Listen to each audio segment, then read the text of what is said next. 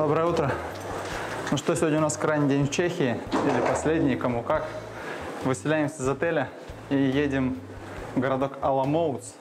Там у нас есть небольшие планы, посмотрим, что из этого получится. И потом уже вечером будем в Вене. Покажем вам все, что снимем.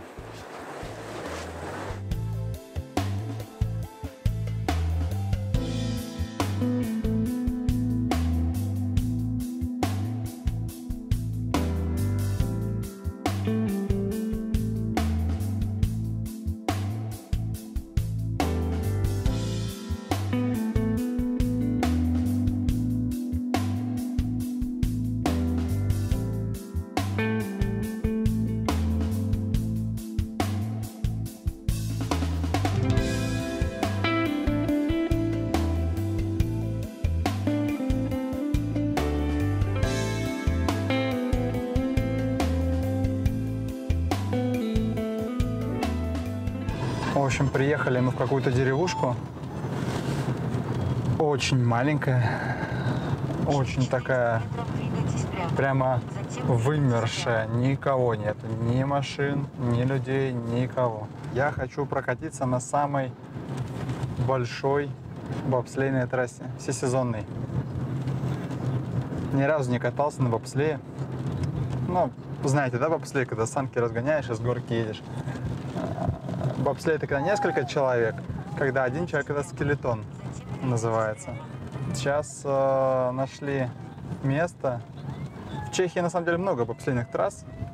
Но вот нашли место, которое от нас недалеко было по пути.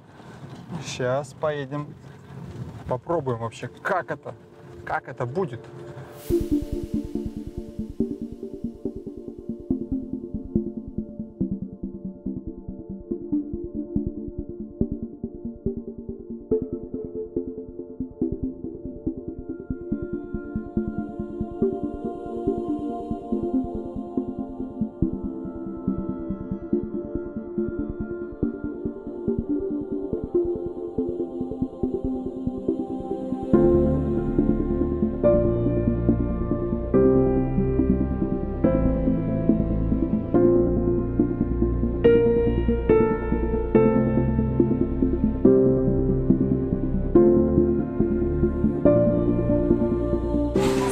бобслейная трасса. Сейчас нас научатся кататься на бобе. Очень прикольно. На, Миш, подержи флаг. Здесь, видишь, можно кататься по очереди, но один боб а, на двоих. Сейчас первая поедет Юля с Мишкой, а потом поеду я один.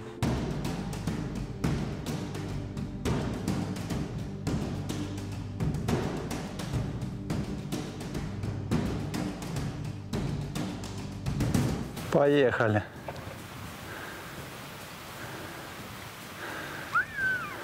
О, Уже, уже пищат.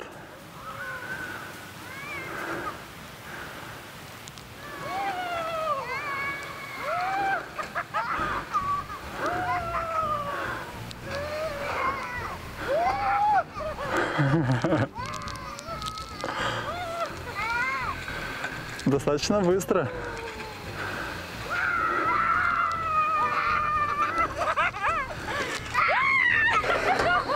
Ну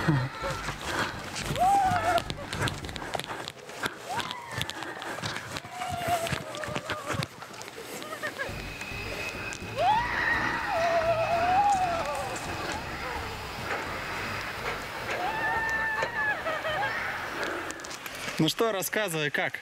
Так было страшно. Страшно? Да, вот так я же повернули, и так, видишь, и, и, мимо лошадок. Класс. Мама больше тебя боялась или ты больше боялся? Больше боялся. Ты больше, чем мама боялся? Да, А кто кричал громче всех? я. Ты? Но тебе понравилось? Ну да, Классно? да, Вырастешь, станешь бобслеистом? да. Мы как самолет, как летчики летим. Куда ты управляешь? Куда ты ты управляешь? Это мне неудобно. Давай.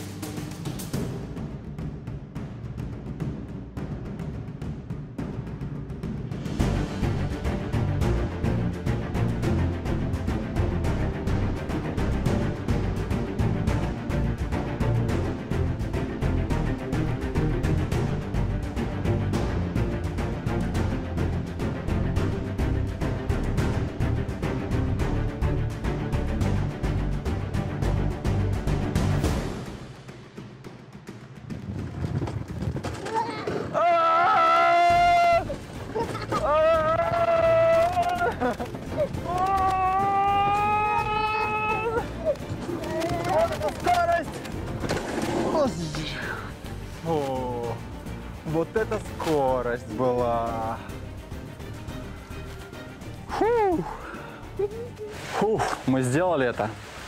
Теперь мы официально бобслеисты.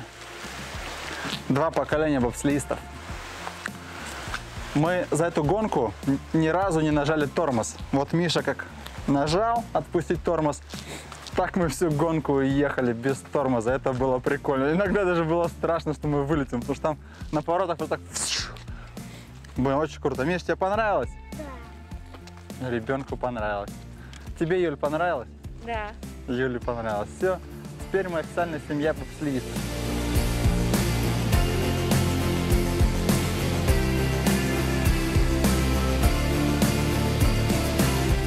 В эту поездку по Европе так получается, что я чувствую себя как пастух. Э, Где-то в Швейцарии или в Австрии, не знаю, потому что э, питаюсь только сыром. Вот, у меня вот все время есть э, маленький кусочек камамбера. Ну, кусок кругляш, кругляш такой стоит 1 евро. Вот, э, я его ем. И хлеб, там багет или какие-то булочки.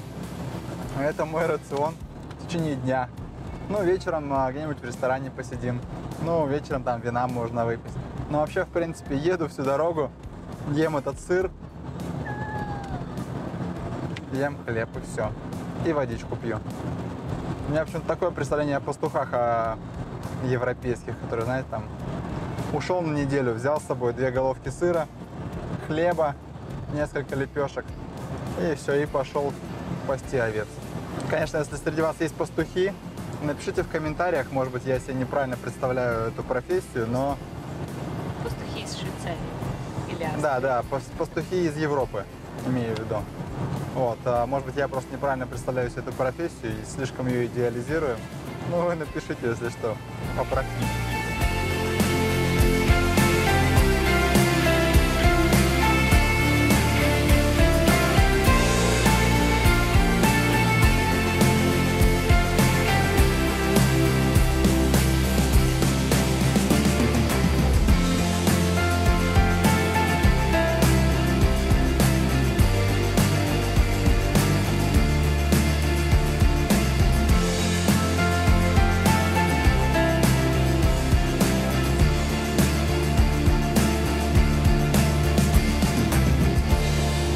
Все, дорога кончилась, пещеры не начались. Так что не получилось с пещерами. У вас так же происходит? Как только вы оказываетесь в каких-нибудь пикулях, сразу кончается бензин. Или это у меня вот только вот такого удача такая? Еду, все время заправляюсь. Пол бака я заправился. Лампочка не загорается никогда. Тут приехали в Пикуля, все, сейчас лампочка загорится. Что такое? Ну, просто не первый раз уже, постоянно такая фигня. Но я, правда, ни разу не вставал, в Мексике один раз встал без бензина. Но там реально очень долгий был прогон по автобану. Там, наверное, километров мы 100 ехали, не было ни одной заправки.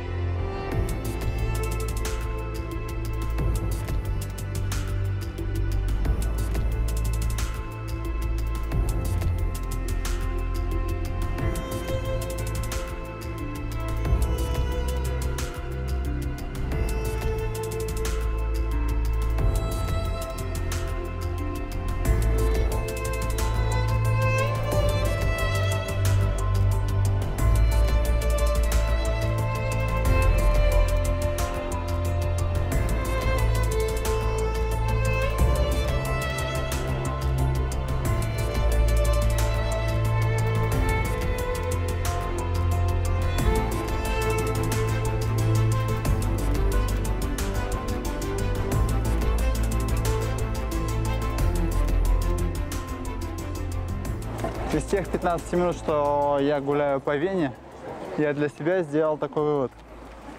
Очень интернациональный город. Город достаточно динамичный. А, и город достаточно современный. То есть он точно не производит впечатление сонного города. А, И люди, которые ходят кругом, они не все туристы. То есть есть арабы, азиаты, есть а, белые. И они не выглядят как туристы. Они выглядят как а, местные жители. И много молодежи. Это тоже, конечно же, очень важно. Вот такое впечатление, первое впечатление о Вене у меня сложилось.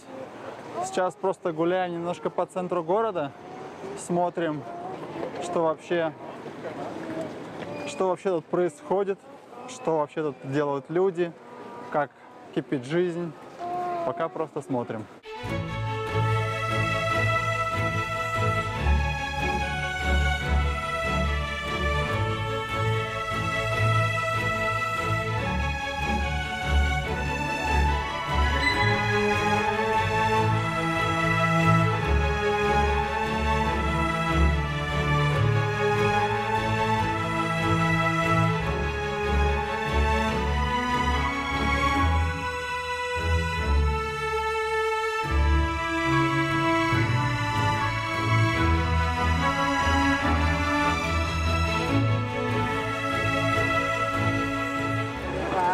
Машине прокатимся.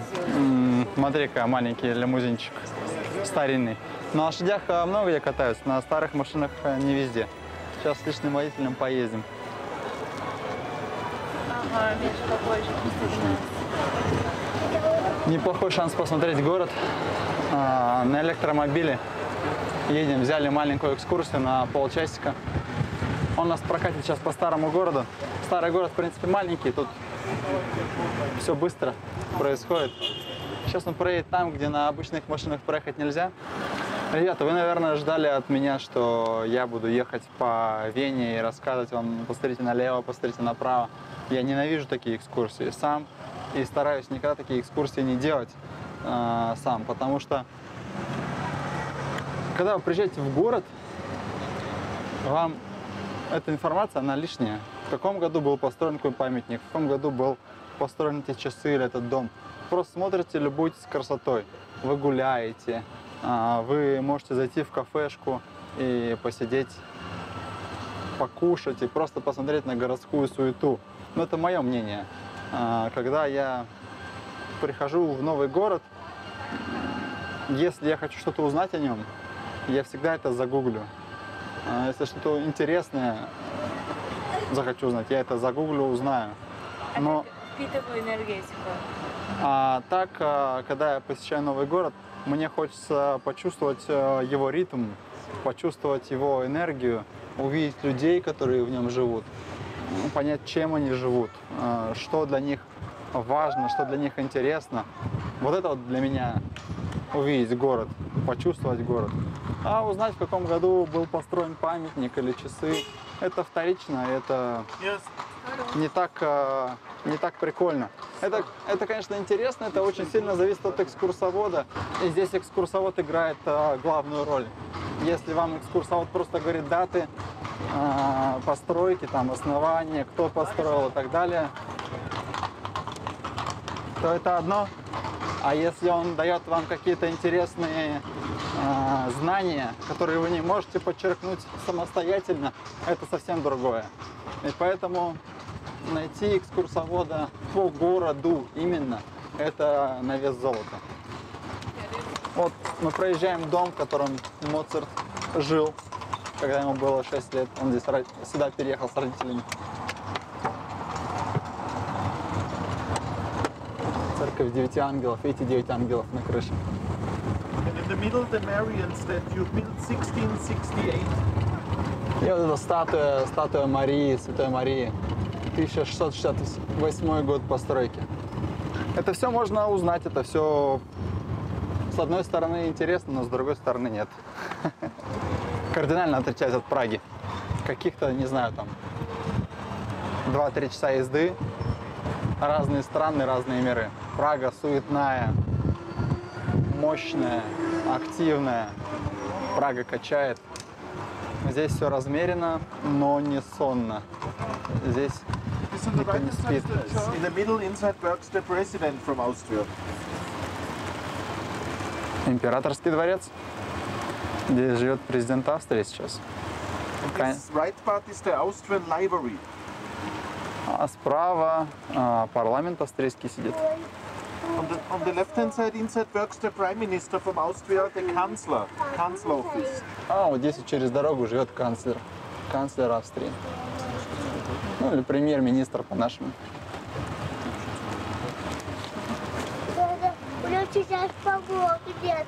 Императорский дворец. Объехали его с другой стороны.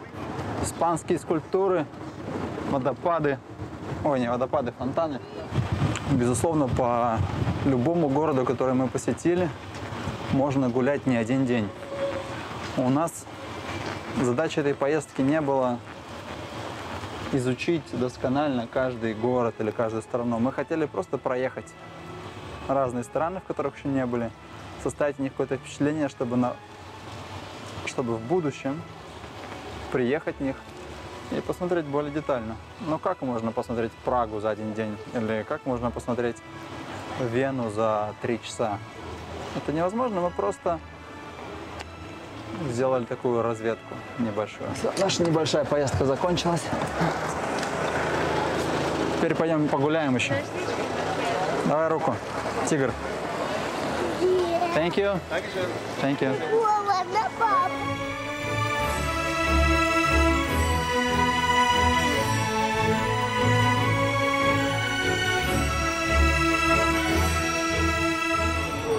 Я хожу, смотрю на хот-доги, на австрийские сосиски, которые делают в Австрии по специальной технологии из австрийских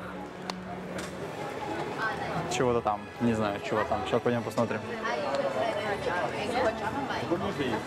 Так, что у нас тут есть? Ага. Четыре вида сосисок. Стоит 4 евро за хот-дог.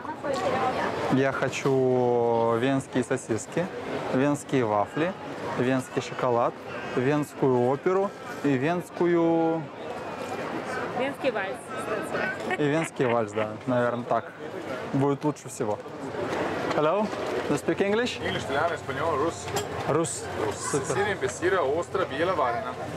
А, Sa Sirien, Bessira, Biela. что хотите? Sa Sirien viene ne большое.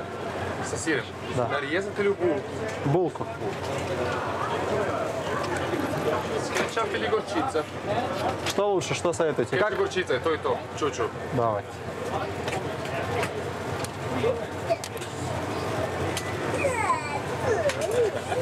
Сколько? 4,50. Спасибо. Внутри расплавленный сыр, и он очень горячий. На самом деле, когда приезжаю в новую страну, в новое место, хочу пробовать себе национальное блюдо, национальную кухню. И иногда, ну, как правило, это в ресторане же, правильно? Ну, Где мы еще? Мы же сами не готовим. И официант приходит, я говорю, вот что хочешь, то и неси. И он мне, как правило, приносит самое-самое местное. То есть э, чаще всего мы выбираем что-нибудь на свой вкус. Там, знаете, там мясо вареное, жареное, там пюре или еще что-то, рис какой-то там специально приготовленный. А я стараюсь говорить, вот прям вот что вот хочешь, то и неси. Это может быть невкусно, это может быть специфично, это может быть э, не то, чего ты ожидал, но это прям вот самое местное, чего вот местные едят, любят. Вот это вот оно. Сосиска с сыром внутри для меня не совсем, ну, мое любимое. Но у меня есть представление о том, что они любят, что они едят.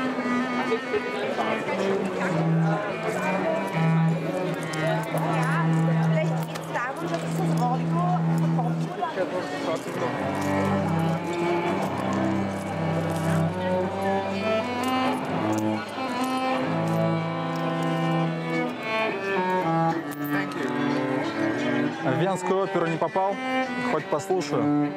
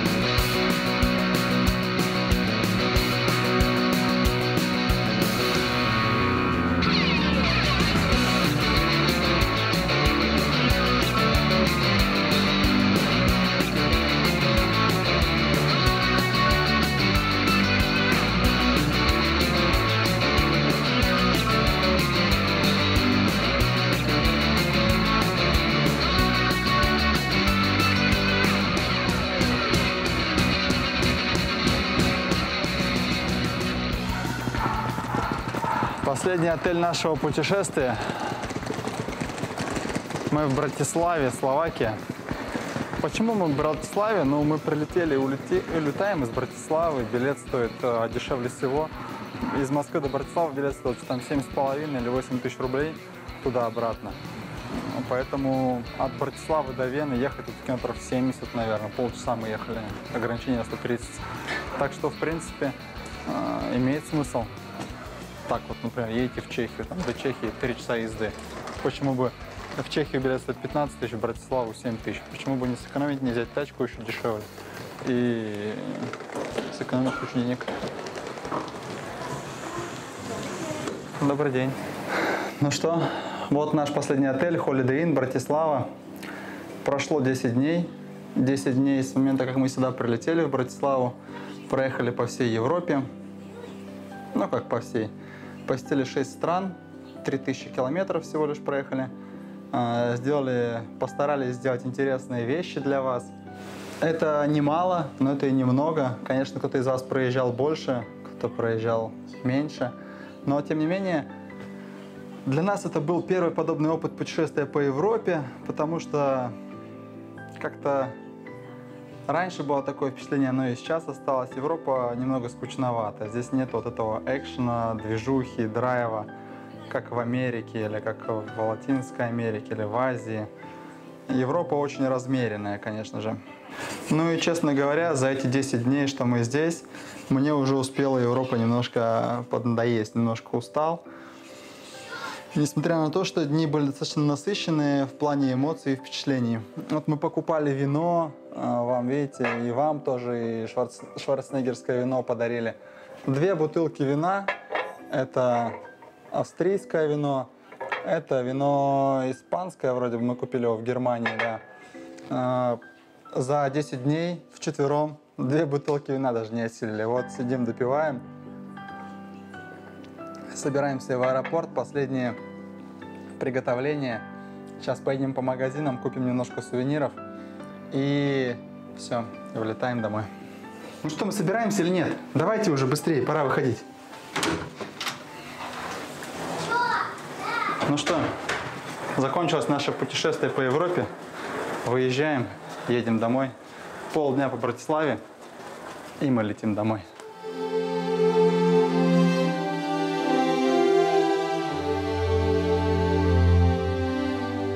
Крепость в центре Братиславы, которой началось развитие вообще города. Вот такой вот замок, крепость, как это назвать, не знаю, стоял раньше в центре города.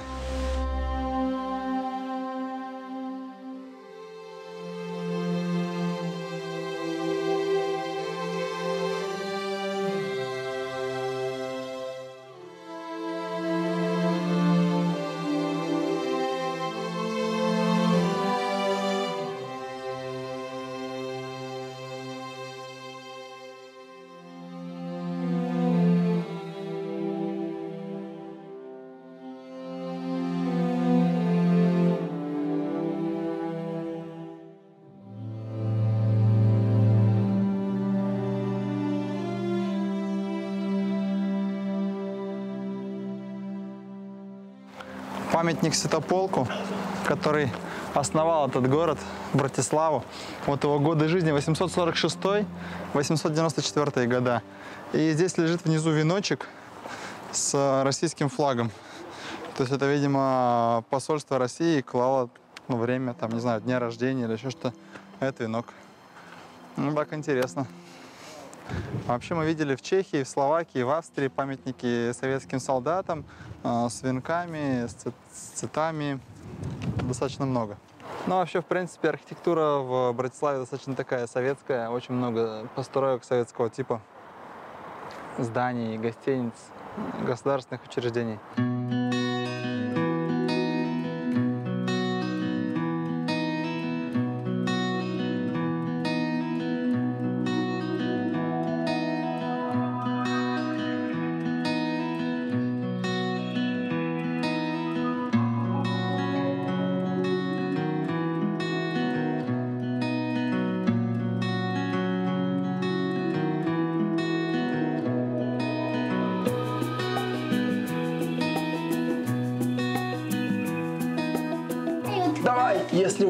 Врагов, стреляй в них.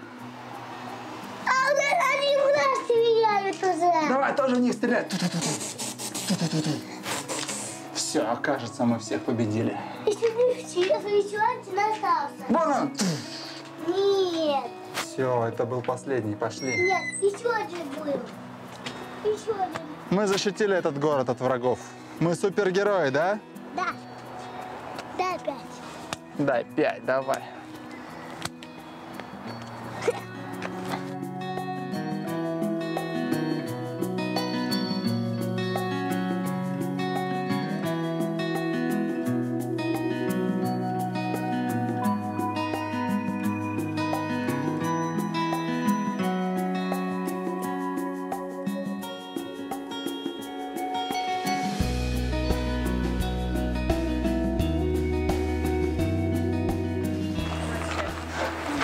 На заднем дворе этого дворца Братиславского града. Здесь небольшой сад, где растут цветы, даже вон гранаты. Никогда не видел, как гранаты растут. Они такие маленькие, вот такие. Прикольно, интересно. Так, где гранаты?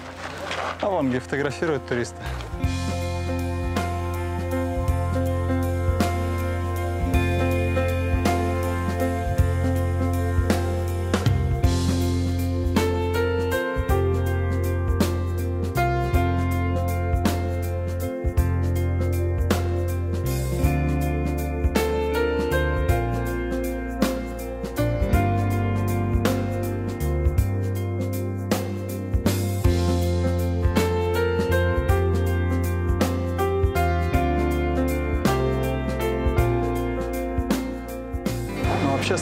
Одна из самых дешевых европейских стран, которые мы посетили.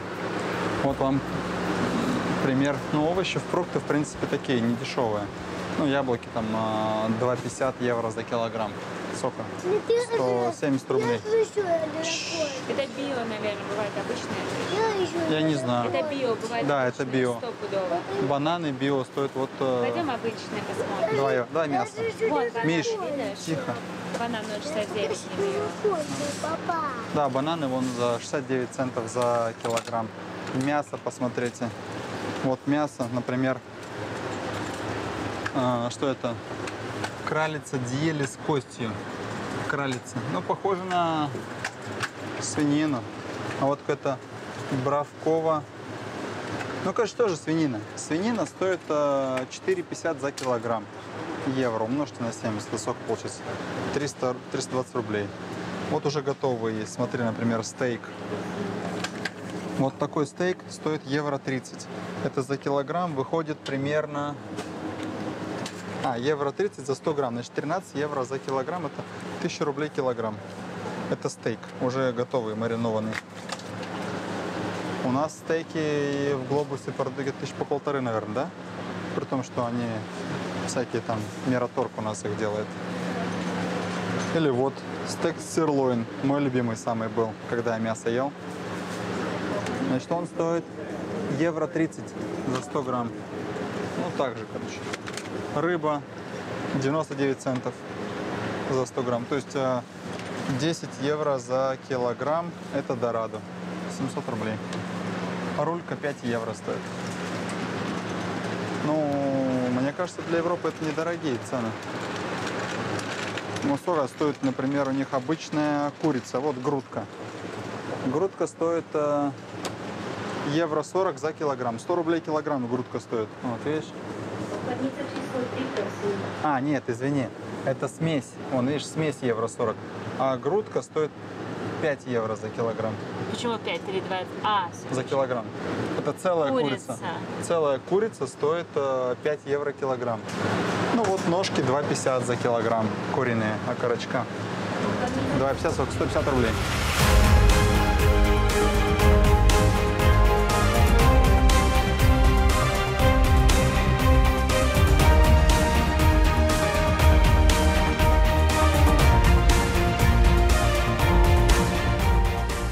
Ну, язык, конечно же, очень похож, но не один, конечно же. Это разные языки, и на них надо, на них надо переучиваться. Я думаю, что даже чешский посложнее, чем словакский в плане восприятия для русскоговорящих людей. Хотя, может быть, на Украине, кто живет, может быть, им а, будет попроще, потому что какие-то слова все равно знакомые. Там, я украинский не знаю просто, но какие-то все равно там слова украинские примерно представляю.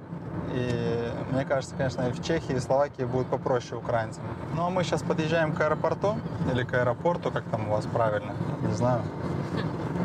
Я уже боюсь слова сказать, то уже услышу тысячу, тысячу отзывов о себе. Короче, прилетаем к тому месту, откуда мы вылетаем на самолете. Сейчас сдаем машину и идем. Bye.